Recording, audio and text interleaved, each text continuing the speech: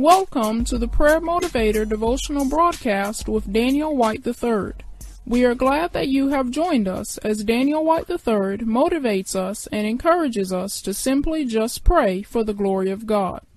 Daniel Whyte III is the national best-selling author of over 20 books. He has spoken in meetings across the United States and in over 25 foreign countries. He is the president of Gospel Light Society and Torch Ministries International. Now here's your host, Daniel Whyte III.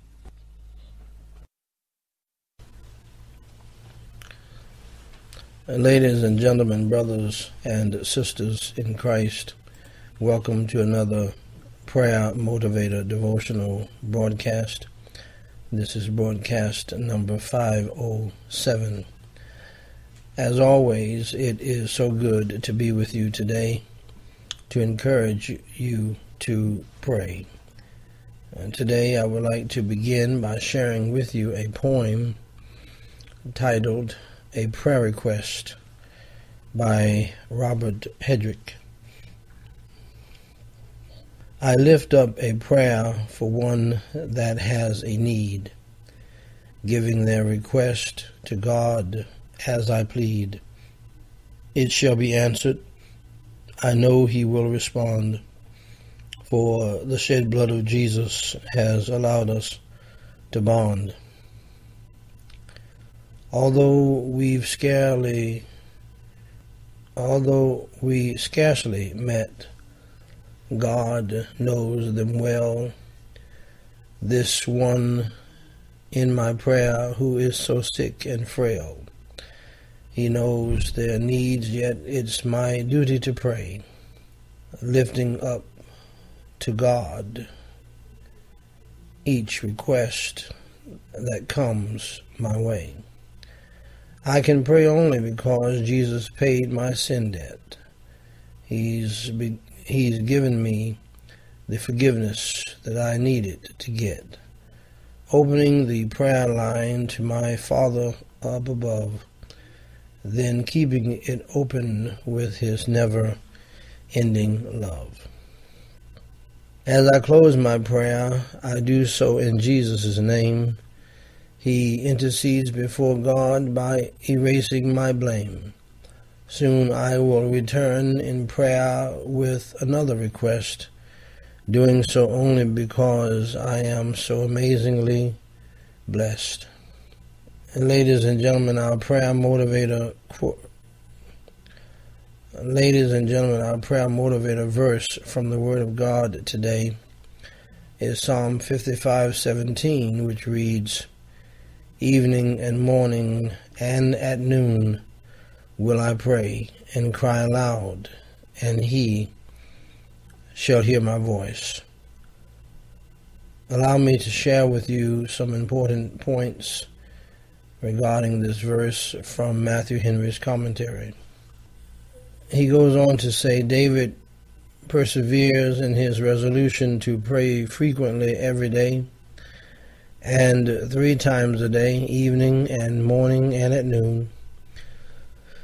It is probable that this had been his constant practice, and he resolves to continue it now that he is in his distress then we may come the more boldly to the throne of grace in trouble when we do not then first begin to seek acquaintance with God. But it is what we have constantly practiced, and the trouble finds the wheels of prayer going. Those that think three meals a day little enough for the body ought much more to think three solemn prayers a day little enough for the soul. And to count it a pleasure, not a task, as it is fit that in the morning we should begin the day with God, and in the evening close it with Him. So it is fit that in the midst of the day we should retire a while to converse with Him it was Daniel's practice to pray three times a day, and uh, noon was one of Peter's hours of prayer. Let not us be weary of praying often, for God is not weary of hearing. Ladies and gentlemen, brothers and sisters in Christ, my personal encouragement to you today is this there is great power through prayer to God, and there are great benefits from God in prayer. You will find as you trail through life that you will need God, and prayer and invites God to work in, through, and for your life. There is no doubt about it. So pray often. Our prayer motivated devotional today is part 38 of our series titled The Sin of Prayerlessness from Dr. John R. Rice.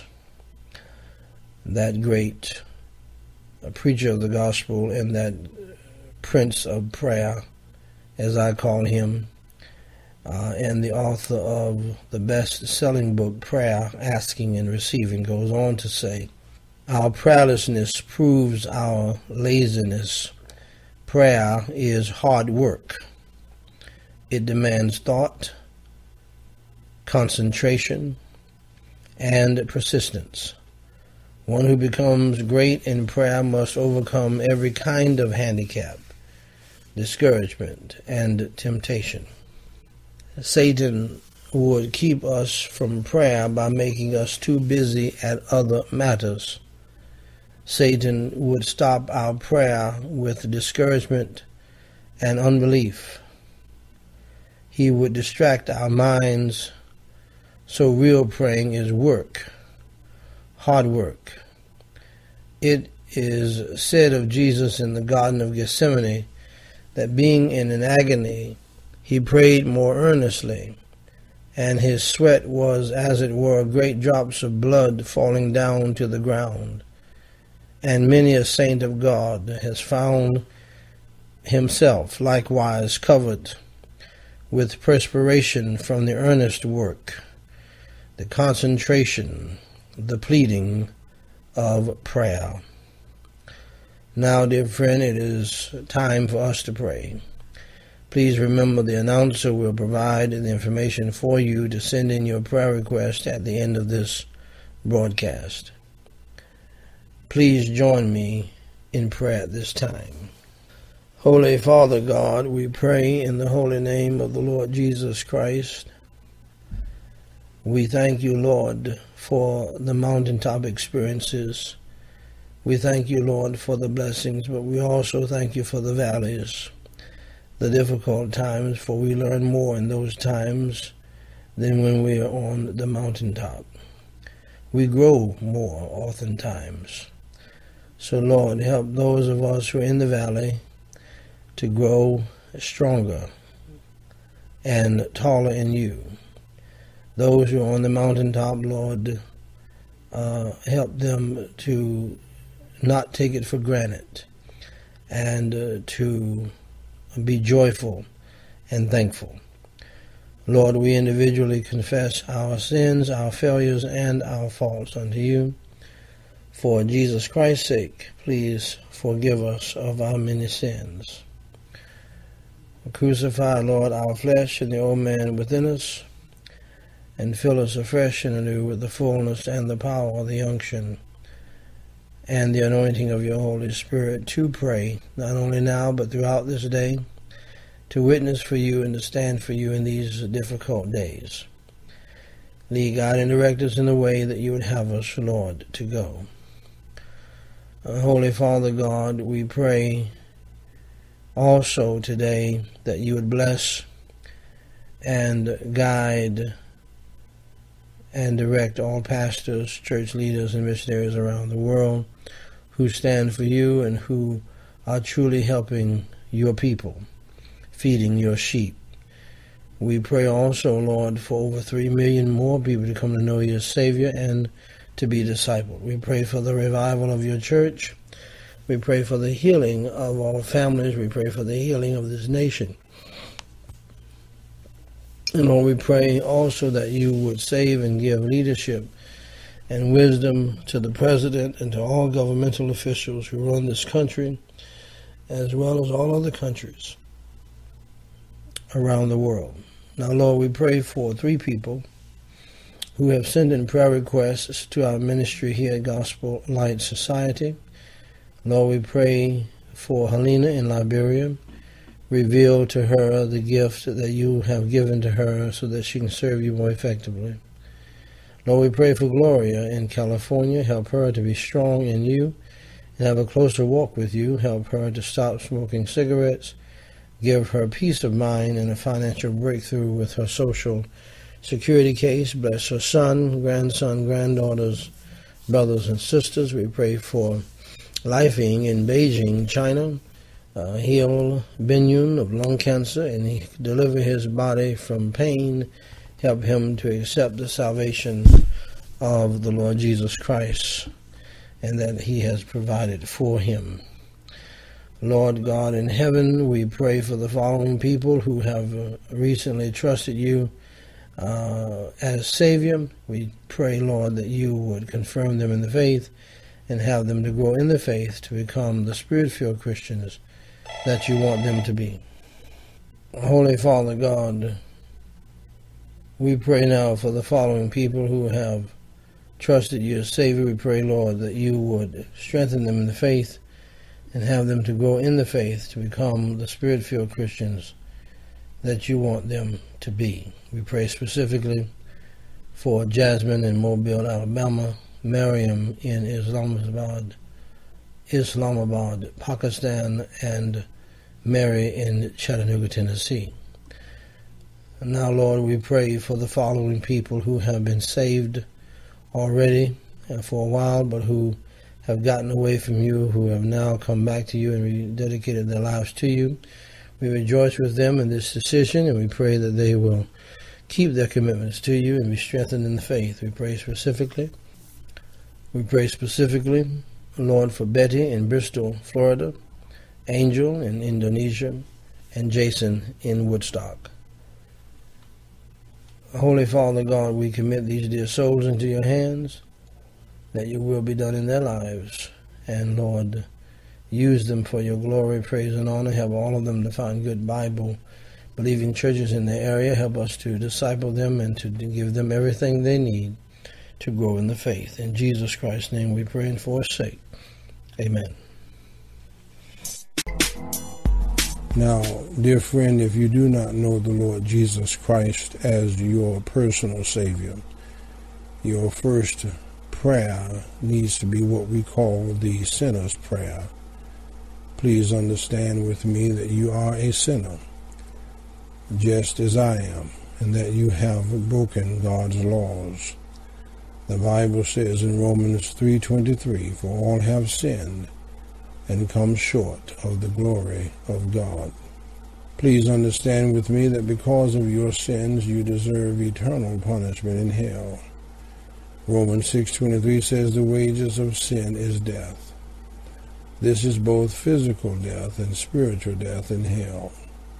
That is the bad news, and it is bad news indeed. But here is the good news. John 3:16 says, "For God so loved the world that he gave his only begotten Son, that whosoever believeth in him should not perish, but have everlasting life. If you believe that Jesus Christ died on the cross for your sins, was buried and rose again, and you want to invite him into your heart today to save your soul, Please pray with me this simple prayer mean it from your heart. Holy Father God, I realize that I am a sinner and that I have done some evil things in my life. For Jesus Christ's sake, please forgive me of my sins. I now believe with all of my heart that Jesus Christ died for me, was buried, and rose again Lord Jesus, please come into my heart and save my soul and change my life today and forever. Amen. Now, dear friend, if you just trusted Jesus Christ as your personal Savior, and you prayed that prayer and you meant it from your heart, I declare to you that based upon the Word of God, You are now saved from hell and you're on your way to heaven. Welcome to the family of God. I want to congratulate you on receiving Jesus Christ as your Lord and Savior. For more information to help you grow in your newfound faith in Christ, go to gospellightsociety.com and read what to do after you enter through the door. Jesus Christ said in John 10:9, I am the door. By me, if any man enter in, he shall be saved, and shall go in and out and find pasture. Until next time, my beloved, pray, think, do. God bless you.